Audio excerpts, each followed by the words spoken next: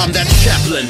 I'll be sharing my heart, so as I bless you with this privilege, please don't tear it apart. So quit your acting before you take things too far. Resistance causes long term damage, give your life a kickstart. It's like now that I'm clean, I thought my problems would just float away. In factual reality, the problems they keep floating in. A life on social media, posting gets your problems heard. You best hit that deactivate and stop yourself from getting hurt. Pick friend, join a club and break the trend. Face to face chat, I post a private message, D&M. Could I turn back the clock? I would've never been a bully. The truth is, I was insecure, I'm haunted by my doings. I aim to make a difference to those who think their life is gone. A comedian who gives a damn, but people seem to get me wrong. Gonna be pen, pad, got a mic in the booth. I be spitting the raw truth with lyrics that soothe.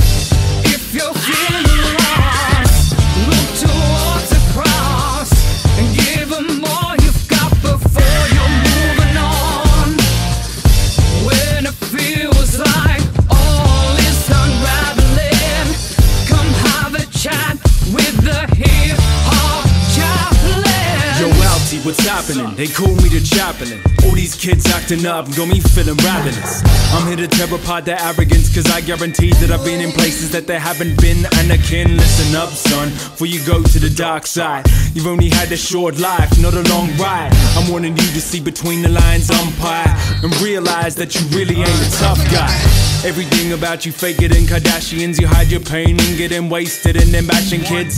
Tear people down cause you think it's funny. But the funny thing is, no one's laughing at this. Cause the measure of a man ain't his money or cars. True measure of a man is the size of his heart. Listen up, drop the facade, do away with the mask before your RIP like Jimmy Ricard.